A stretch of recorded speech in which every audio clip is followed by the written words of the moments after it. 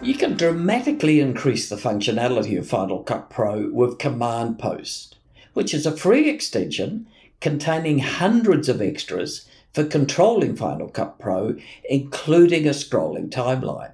Command Post is essential if you use a control surface like a Loupedeck or a tangent panel. And at the end of the video, I'll show you how to add a Loupedeck to Command Post. In this video, I'll show you the features that I use in Command Post and assist you to discover more.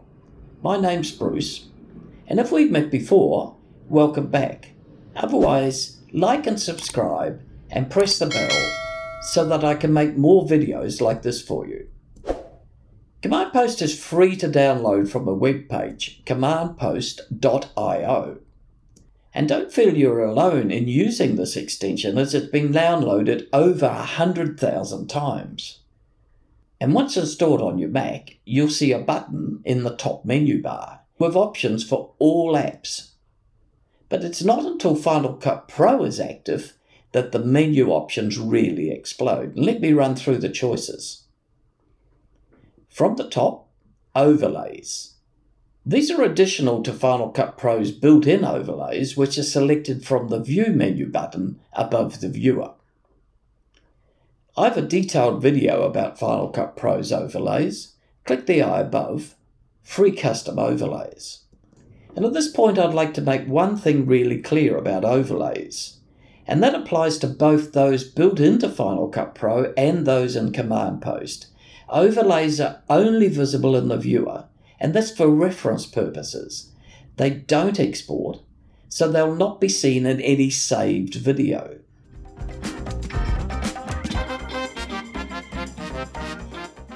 To use the command post overlays, it's best to first make sure that the grids are enabled at the bottom of the menu.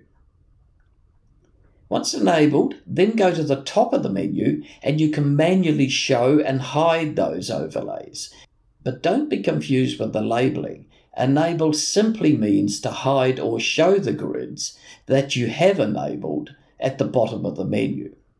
Conveniently, you can use the shortcut caps lock key to enable, that's to show or disable.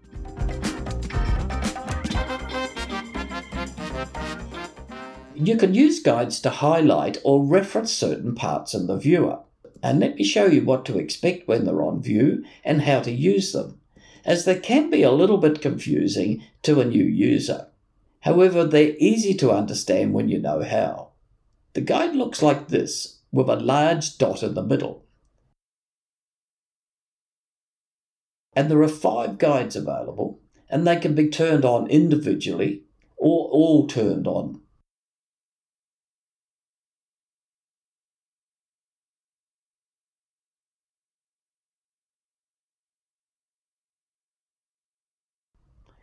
They can have individual colours so they can be differentiated, as well as brightened or darkened.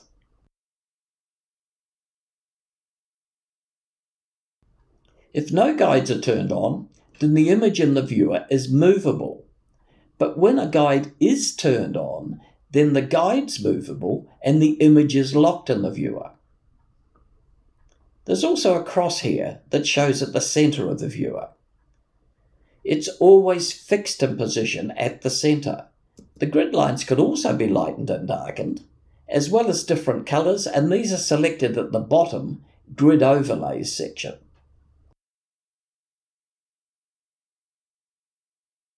Next, let's look at Letterbox. It also needs Enable Overlays turned on. It's an overlay only, so doesn't export either and you just use it to hide part of the viewer while you're editing.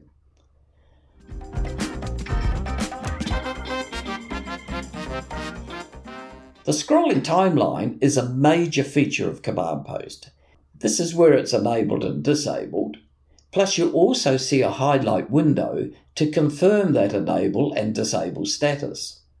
The scrolling timeline's not something you want to have enabled all the time, but it's really useful when you're reviewing a long timeline. Batch Export Timeline will export all the clips in the timeline as separate videos.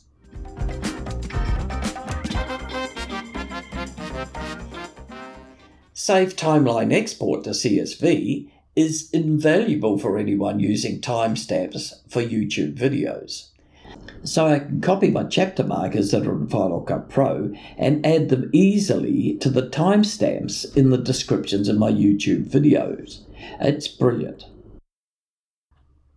Save Browser Contents will document the contents of the browser for collaborative work, and this will save a file in the same way as the timeline index did.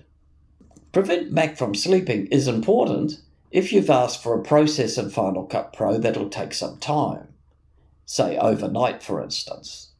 No harm in turning it on here, but in fact this is something you should have already done. If you're a regular Final Cut Pro user, this should have been set up in the Mac system preferences before now. Anyway, to do it now, open System Preferences and select Energy Saver. Select when you want the display to go to sleep and make sure prevent Mac from automatically sleeping is ticked. And make sure that put hard disk to sleep is unticked. You should ensure that laptops are plugged in, or if not, consider the ramifications on battery life.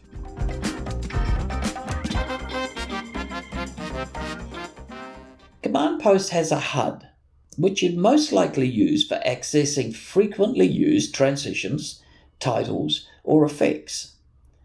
The actions can be added to one of three sets of action buttons. Right click on an empty button, assign an action. Select the type of action you want to add to the button. Let's say a favourite title. Select the title you want to use. Right click on the button if you'd like to rename that title in the button. Place the playhead in the timeline and click the button the titles added.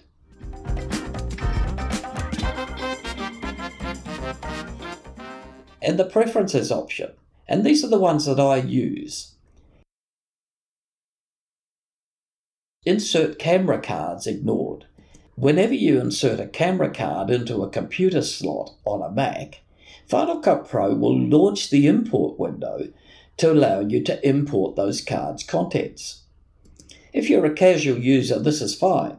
But if you're using Final Cut Pro on a more professional basis, I believe it's not the correct thing to do. It's best not to import directly from a card, but rather copy the complete card to your hard disk and then use Final Cut Pro's import window to access the HD location. The transfer will be faster and safer too. Enable timeline zooming. Select Control key here. Now in the timeline, scroll on the trackpad or a magic mouse to zoom in and out. It takes a bit of getting used to, but it's a real time saver. The mind boggles at the almost unlimited options of Command Post. And I'd suggest that you don't add too many at once, as you'll forget what's been added and what it does. Personally, I leave the other options unticked.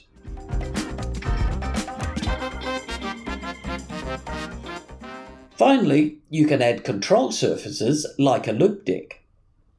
You can even customize your touch bar on a MacBook Pro. Select the deck you want to add. In this case, we'll select Loupedeck.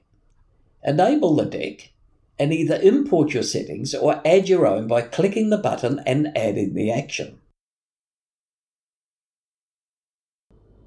You can even add a virtual touch bar at the bottom of the Final Cut Pro window.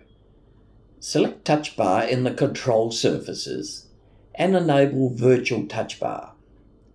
You can also add your own customize actions, as well as having them show for Final Cut Pro or for all your applications. As I said before, the mind boggles. Thanks for watching. I hope you got some value from this video. And please let me know in the comments below if you've got areas that you struggle with in Final Cut. I'd be very happy to produce a video to help you solve those issues. Please like, subscribe and press the bell.